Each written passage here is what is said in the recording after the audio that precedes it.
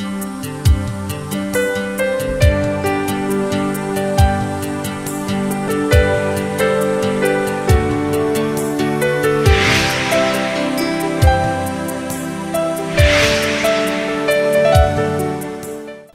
জানাচ্ছি democracy internet আজকে talk show অনুষ্ঠানে। আমাদের আজকের আলোচনার বিষয় মাদক মাদকের ভয়াবহতা এবং আমাদের যুব সমাজ আমি সদরুল আমিন আছি আজকে টক শো অনুষ্ঠানে।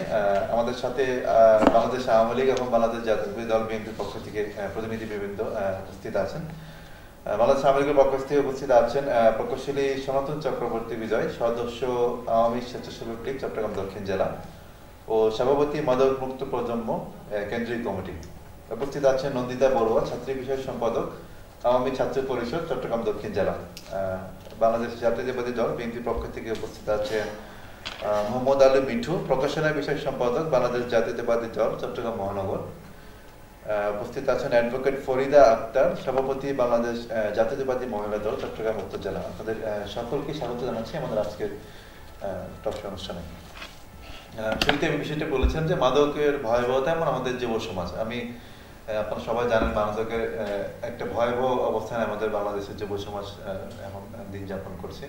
বিশেষ করে আমাদের চট্টগ্রাম অঞ্চলের যে অঞ্চলটা আছে, এটা মাদকের অন্যতম একটা ট্রানজিট পয়েন্ট হিসেবে ব্যবহার করা হয়।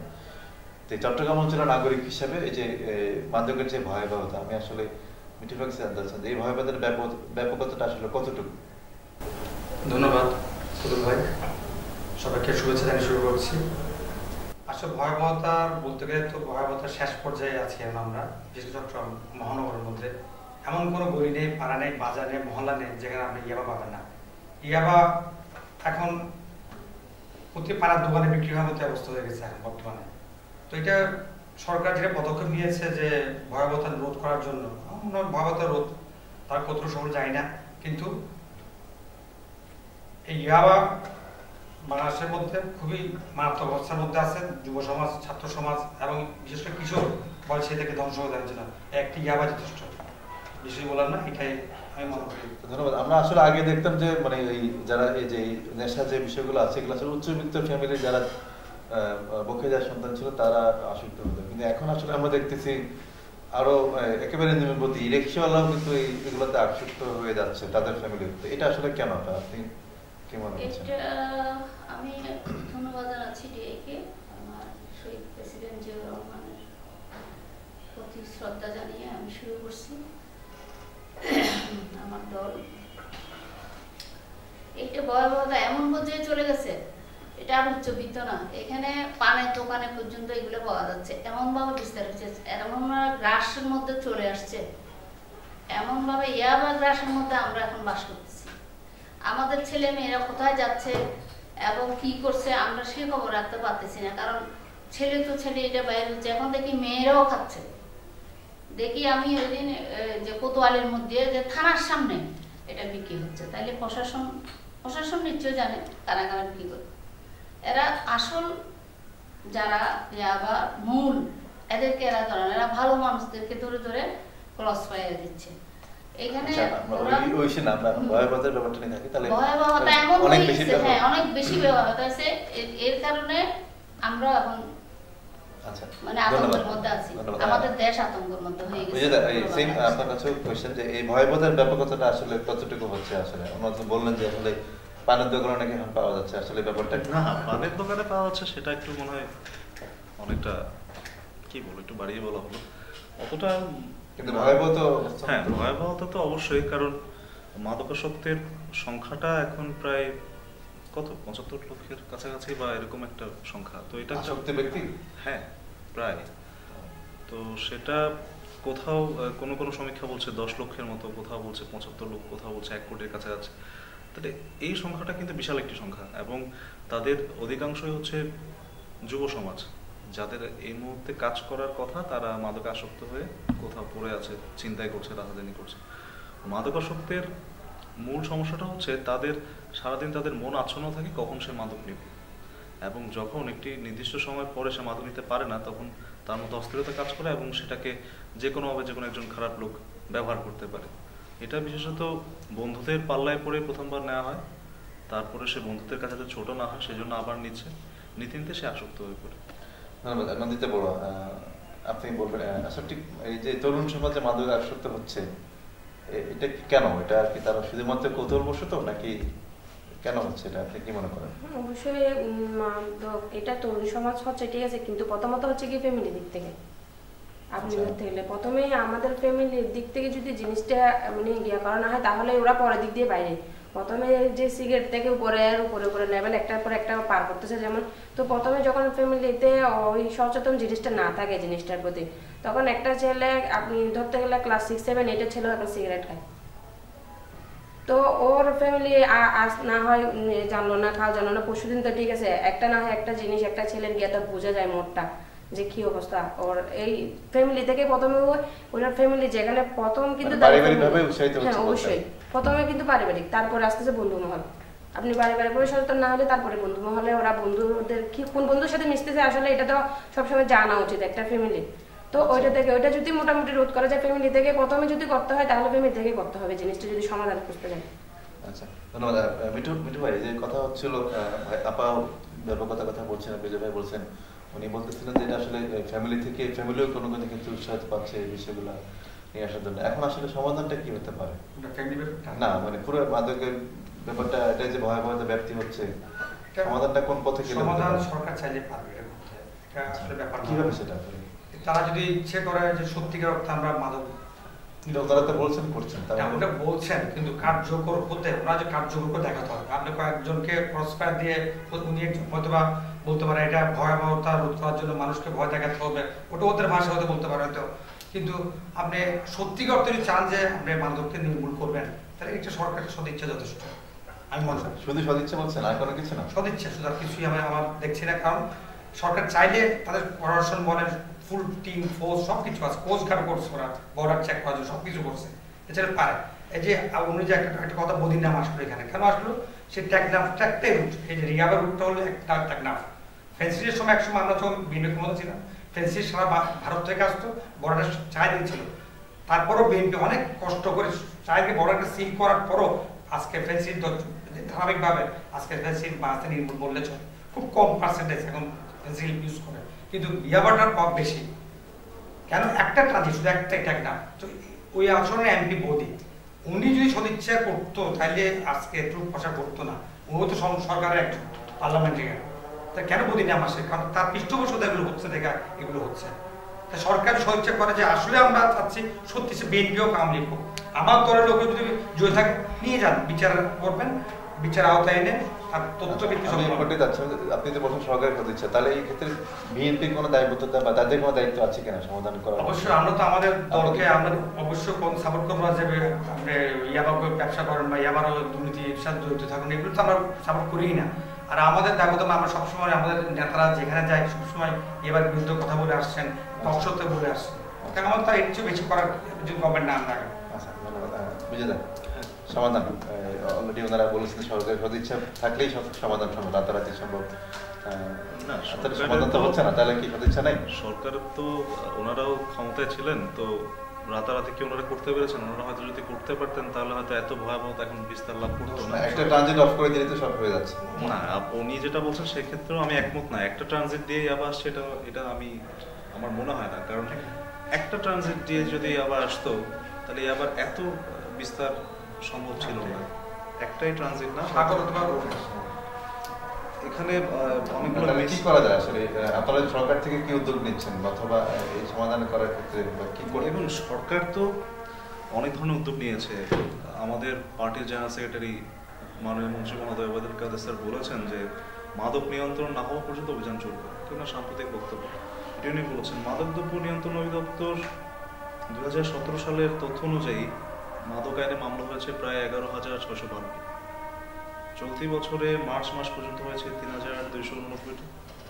বিচারাধীন আছে কিন্তু আমরা কিন্তু বাংলাদেশ আওয়ামী লীগ পড়েছেন। হ্যাঁ জননেত্রী শেখ হাসিনার সরকার কিন্তু বিচার করছেন। এবং প্রায় শতাধিকের উপরে ক্রসফায়ারে যারা মারা গেছে সেটি হয়তো একটু ভিন্ন বিষয় অনেক ধরনের আলোচনা সমালোচনা আছে। কিন্তু মাদক আইনে কিন্তু বিচারগুলো হচ্ছে এবং বিচারগুলো চলমান। আর এতগুলো বিচার এতগুলো মামলা এর আগে কখন কোন সরকার করেছে আমার তো মনে হয় অনিতা আসলে কি কি উদ্যোগ বর্তমানে আপনাদের মানে আওয়ামী লীগ থেকে বা সরকার থেকে নেওয়া হচ্ছে? স্পেসিফিক কি কি উদ্যোগ আছে এখন? এটা সমাধান মাদক আপাতত তো যেটা চলতেছে কিছুদিন ধরে যেটা করছে ক্রসফায়ার ওটা তো নিয়েছে নিজে যেতে সরকারি আর পাশাপাশি তো যতটুকু স্কুল কলেজ আপনার স্কুল কলেজে, প্রত্যেকটা স্কুল কলেজে কিন্তু ক্যাম্পেইন হয় মাদক বিরোধী জন্য সরকারিভাবেই প্রায় স্কুলে আপনার স্কুল থেকে মানববন্ধন এটাও কলেজে তারপরে আপনার পোস্টারিং দেখবেন, আমাদের চকবাজার এরিয়ার মধ্যে প্রায় দেখা যায়। কলেজের প্রায় যে দেওয়ালগুলোতে আছে, প্রত্যেকটার মধ্যে পোস্টারিং কাজটা চলছে। ও যতটুকু যেভাবে সম্ভব ওভাবে যাতে মাদক, যাতে একটা বাচ্চা, প্রথমে বাচ্চা থেকে তো উপর দিক দিয়ে যায়, যারাও যাতে মাদক সত্য না হয় তরুণ সমাজ। স্কুলে, বিশেষ করে স্কুল কলেজগুলোকেই মানে টার্গেট করা হয়েছে যাতে ওরা উপর থেকে যাতে উপরের দিক দিয়ে বাড়তে না পারে। ওইটার জন্য মানে প্রত্যেকটা সময় তো ক্যাম্পেইনের কাজ চলতেছে এবং একা কি সম্ভব? একটা মানুষ একদিক থেকে সম্ভব না। সরকার সরকার সরকার সবগুলো সরকারের দোষ। এখানে বুঝতে পেরেছি। মিঠু ভাই শেষ বক্তব্য হিসেবে রাখব আমরা। মোটামুটি সামনের দিকে চলে আসছি এখানে আপনারা শুনলেন, ওনারা বছরে বলল যে ওনারা উদ্যোগ নিচ্ছেন এবং ওনারা বেশ কিছু দায়িত্ব পালন করছেন। তো সেই ক্ষেত্রে এই যদি ওনারা আগে আসেন সেক্ষেত্রে আপনাদের বিএনপিকে ওনাদেরকে সহযোগিতা করবেন কিনা? আমরা তো আছি আমরা বে- বিরোধী আগেও ছিলাম এখনও আছে সরকার যদি সদুদ্যোগ নেয় আমরা অবশ্যই ভাবা দিব। কিন্তু এটা দশ বছর ক্ষমতা একটা জিনিস বুঝতে হবে। এটা তো হুট করে একদিন মধ্যে এতদিন পর ওনাদের ঘুম ভাঙলো যে অভিযান চালাতে হবে। ওনারা যখন ক্ষমতায় আসছে তখন তো উনি যে বললেন একটি কথা যে এটা দীর্ঘদিন প্রক্রিয়ার একটা বিষয়। রাতারাতি সম্ভব না। রাতারাতি কেন হবে? ওরা দশটা বছর আজকে ক্ষমতায় আছেন। এই যে মাদক দ্রব্য যে বিস্তার লাভ করতেছে, আমরা প্রায় সময় বলছি। আমাদের দল থেকে বলা হচ্ছে যে, এই যে যুব সমাজ ধ্বংস করার জন্য কলেজ ইউনিভার্সিটি থেকে ধ্বংস দেওয়ার জন্য এই যে মাদকতার বিস্তার করাচ্ছে যেগুলো একটা চক্র করতেছে এটা। এটা আমরা প্রায় সময় বলছি, এই অভিযোগটা করছি। তারা আমল নেন নাই। ওনারা আছেন আচ্ছা আপনি বলেন, দুর্নীতির জন্য যুদ্ধ করছেন, বিভিন্ন বিষয় নিয়ে ওনারা করতেছেন। আপনার, তাহলে এই এই মাদক দ্রব্যটা কিন্তু শেষ হবে না। বন্ধ করা যাবে আপনি বলেন। এটা সরকার যদি দশ বছরের মধ্যে যদি তারা যদি করতো আগের চেয়ে এই যে ক্রস ফায়ার দেওয়ার কথা বলছে ক্রস ফায়ার লাগবে? আর কর আইন করেন আপনি মৃত্যুদণ্ড করছেন সুপারিশগুলো একটু তাহলে বলেন আইনগুলো তাহলে কি এই এখন যে বলল যে মৃত্যুদণ্ড মনে আইন করছে মনে এখন মাদক দ্রব্য যে মৃত্যুদণ্ড আচ্ছা। সর্বোচ্চ শাস্তি।